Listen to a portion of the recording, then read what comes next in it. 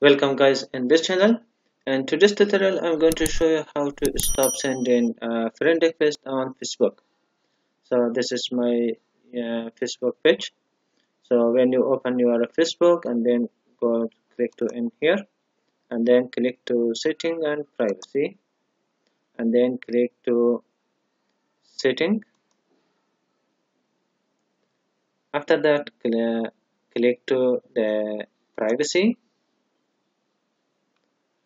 and then find how people can find and contact you. So click to edit. And then from here change who can send you friend request? From here there is uh, as default is uh, it's everyone and you change to friend of friends.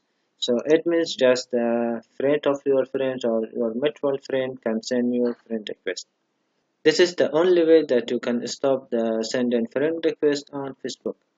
Thanks for watching.